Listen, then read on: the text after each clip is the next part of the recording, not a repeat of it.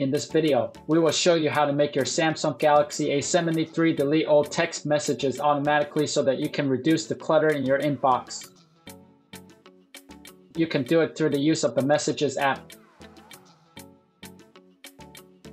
To begin, go back to the home screen and tap the Messages app.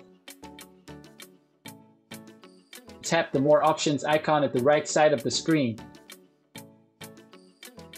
Once the options show, select Settings. Among the list of options, tap More Settings.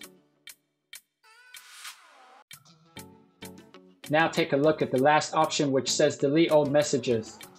That's what you're looking for, so tap the switch next to it and it will be enabled immediately. What it does basically is delete the oldest text messages once you reach 1000 SMS, 100 MMS and 500 chats in your inbox. If you don't want your phone to delete the messages immediately, you can have it store those messages in the trash bin for another 30 days before they will be deleted permanently.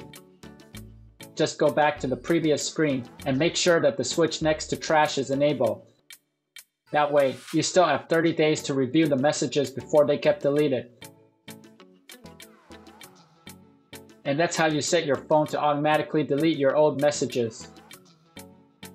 We hope that this tutorial can help you. Please support us by subscribing to our channel. Thanks for watching.